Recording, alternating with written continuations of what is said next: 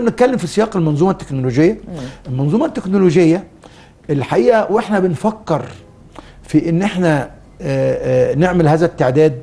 التعداد ده بدأ الإعداد ليه من سنة المالية 12 13 يعني من أكتر من أربع سنوات مضت.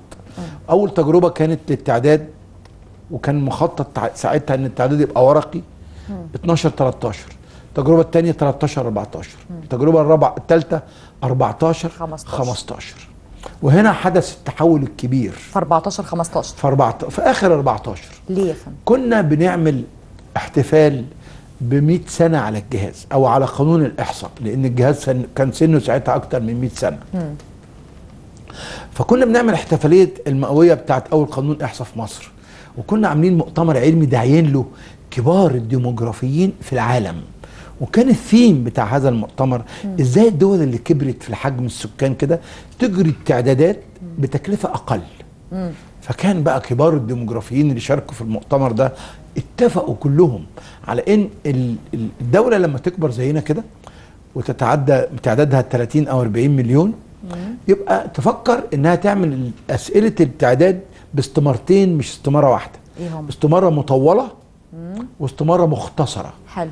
الاستمارة المختصرة تخلي الباحث يعمل عدد أكبر من الأسر في اليوم. لأن وقته بقى معاه وقت أكتر يبقى تقلل عدد الإيه؟ العاملين بشكل كبير. واستمارة طويلة لأنك أنت بقت حجم كبير جدا من السكان. لما نعمل حتى 10% من الحجم الكبير ده يبقى عندنا 2.5 مليون أسرة. دي الح- دي دي عينة مهولة.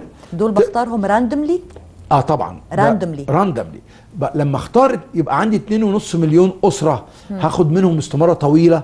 ده يطلع لي خصائص محترمة جدا للمجتمع في الحاجات اللي هي عايزة آه، آه، آه، حالة العمل وحالة ال- التفاصيل العمل وتفاصيل الكلام اللي هي محتاجينه يبقى 10% والباقي كله يبقى 90% ده خلانا على طول نفكر في إن إحنا إحنا اشتغلنا في 2006 في تعداد 2006 ب 109 ألف عداد.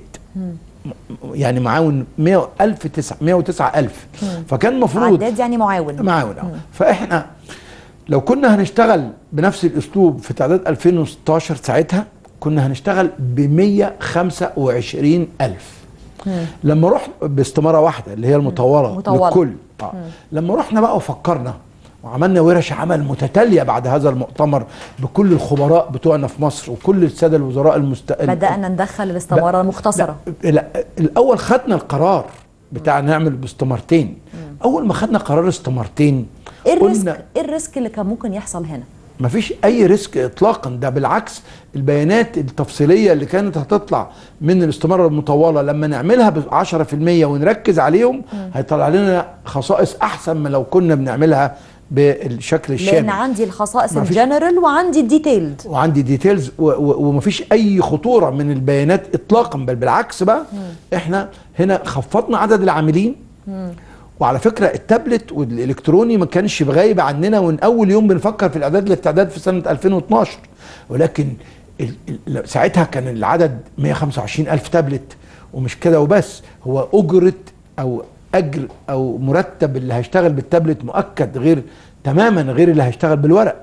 فاذا أنت عايزة ميزانية ضخمة جدا للتعداد ما كناش قدها. فلما جينا خدنا هذا القرار مع إنه الصراحة اللي بيشتغل بالورق أصعب. طبعا لا بس. بس بس ال- ال- القدرة بقى بتاعت ده واحد متعلم. qualifications بقى، أيوه. هيبقى لازم تديله أكتر. طبعا. فالموازنة ما كانش تسمح بده. لكن لما عملنا بقى القرار وخدنا قرار الاستمارتين وخفضنا دراماتيكلي أو بشكل حاد عدد العاملين قلنا بقى الله ما نفكر في التابلت. كانت ساعتها اللي ساعدنا إن الأردن جنبينا بتعمل التعداد بتاعها في سنة 15 بالتابلت وإحنا كنا قريبين جدا منهم وكنا قريبين من تجربتهم. بعتنا ناس من عندنا اشتغلوا معاهم في الإعداد واشتغلوا معاهم في مراحل جمع البيانات. والحقيقة ما لقيناش يا معالي الوزير من فكرة إن الأردن بلد صحيح هي في دقة يعني في قمة الدقة وال وال والنظام لكن عدد سكانها أعتقد عشر عدد سكاننا. بالظبط هم عشر عدد السكان بالظبط هم العشر.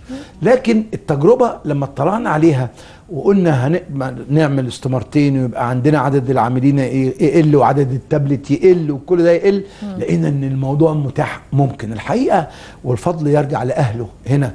اللي كان آه، آه، لما عرضنا الفكرة كان ساعتها السيد وزير التخطيط كان الدكتور أشرف العربي وهو في, في الأصل باحث ويعرف قيمة البيانات. قبل ما نعرض على الدكتور أشرف إحنا عملنا تجربة في محافظتين بالتابلت في شياخة بالتابلت وشياخة بالورق. إيه هم؟ في القليوبيه وأسيوط.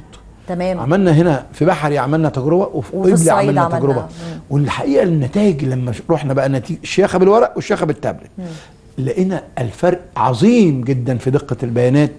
التابلت يفوق بمراحل كثيرة جدا رغم إن ال application اللي اتعمل على التابلت أو التطبيق اتعمل باولاد الجهاز هنا. ما كانش فيه أي حد بيساعد في الكلام ده غير الجهاز عمل الكلام ده بإمكانياته الذاتية. آه، بس التجربة التجربة قالت إن لابد إنك تروح للإيه؟ للتابلت. عرضنا على الدكتور أشرف في التوقيت ده وعملنا موائمه للموازنة وإزاي هنخفض من هنا وهنزود هنا. والحقيقة الدكتور أشرف كان داعم جامد جدا لهذا الاتجاه ووفر لنا الموارد اللي إحنا كنا عايزينها. رحنا جري على الهيئة العربية للتصنيع جبنا منها التابلتس وابتدينا التجربة الخامسة. أول تعداد تعمل له خمس تجارب. كل التعدادات السابقة أكبر تعداد تعمل له ثلاث تجارب لكن التعداد ده اتعملت له خمس تجارب. لأن إحنا لما عملنا التجربة الرابعة كانت في محافظتين وكان لازم نختبر التابلت في كل المحافظات. عملنا التجربة الخامسة واختبرنا التابلت برضه بالتطبيق بتاع أولاد الجهاز هنا والتطبيق اللي اشتغلت معانا فيه بقى دخلنا وزارة الاتصالات الحقيقة معانا وزارة الاتصالات جابت كل الشركات المتخصصة. ده كان هيدفعني لسؤالي التالي من هي أبرز الجهات أو ما هي أبرز الجهات اللي بتتعاونوا معاها بشكل وثيق؟ جهات مؤسسات وزارات ايا كان. الحقيقة الأساس ال- إحنا بنتعاون مع حاجت- جهتين أساسيتين وزارة التخطيط. اللي هي طبعا عارفة إيه المطلوب وهي اللي عندها الموارد. ووزارة المفروض الاتصالات اللي اللي عندها عندها الفيجن لقدام. أيوه طبعا. وبعدين وزارة الاتصالات اللي عندها النو هاو. هي اللي عارفة ده يتعمل إزاي. بالظبط. مش هي الوزارة بتعمل بنفسها. لكن ممكن الوزارة كان من خبرائها. وهي عارفة الشركات. كل شركة إيه تخصصها في كل مجال. وهي اللي جابت كل دول وجمعتهم. وجينا. والحقيقة في بداية لازم نقول برضو النقطة المهمة جدا دي. في بداية إن إحنا بنتعرض بجد بقى لإن إحنا داخلين على إن إحنا هنشتغل المشروع الإلكتروني كان هناك تخوفات كثيرة جدا. من إيه بقى يا فندم؟ من كثير من الخبراء في تكنولوجيا المعلومات إن إحنا الجهاز يبقى قادر على تنفيذ التجربة دي من هذا المبنى. وقالوا لأ إحنا يعني شككوا إن إحنا هنقدر نعمله إن من جوه قدرة؟ العاملين عندنا في الجهاز وإمكانياتنا المتاحة طبعا الامكانيات دي تضاعفت. لما دخلنا في الجد تضاعفت. لكن that time لا، أو في الوقت في ده؟ التوقيت ده قالوا لا إحنا المفروض ال data center ده يتبني يتبني في القرية الذكية وفي أحد الشركات الكبرى اللي في القرية إيه؟ إي فاينانس؟ الذكية. أيوه تحديدا. علشان يبقى إحنا شاكين في قدرات ال- الموظفين بتوع الحكومة دول إن هم يبقوا عندهم القدرة عن إنهم يعملوا هذا الكلام. ما جوش لكن الحقيقة أنا كنت اللي إحنا واثق. شفناهم في جولتنا الحقيقة أنا الحقيقة. كنت واثق في شباب الجهاز وفي قدرة الجهاز وفي إن ال ال ال ال هيش- الشركاء كلهم بدافع وطني لازم يحطوا القدرات دي في هذا المبنى عشان تبقى قدرات مستمرة مستدامة ت- تستخدم بقى في التعداد ده والتعداد القادم وكل الأبحاث و و وقلت لهم إحنا نعمل اسسمنت نعمل تقييم للوضع الحالي وإيه اللي إحنا عايزين نوصل له وإنتوا تساعدونا في إن إحنا لابد إن إحنا نوصل الجهاز والعاملين في الجهاز ليكونوا على المستوى اللي قادر على إدارة هذه المنظومة بمساعدتكم والحقيقة استجابوا وكانوا أكبر داعمين لينا. وأنا بشكر ال- ال- الشباب بتوع الجهاز بالدرجة الأولى وبشكر كل العاملين في الجهاز اللي وصلوا العمل في بعض الأوقات. ثلاث ورديات عمل في اليوم خلال 24 ساعة. وإحنا بنحمل ال 40 ألف أو 44 ألف تابلت اشتغلنا شهرين ونص ثلاث ورديات عمل على مدار ال 24 ساعة. كان إيه التارجت يا فندم؟ كان ال target حطيت إن لهم ال target قال- قلت لهم إيه؟ كان إحنا ال target يعني غصب عننا عندنا مهمه إن إحنا خلاص خلصنا ال application التطبيقات بتاعه الخرائط وبتاعه ال- ال- ال- ال- التطبيق نفسه بتاع الاستمارات اللي هيتحط على التابلت سواء لمرحلة المباني أو مرحلة السكان أو مرحلة المنشآت وده عايز يتحمل بقى على الأجهزة.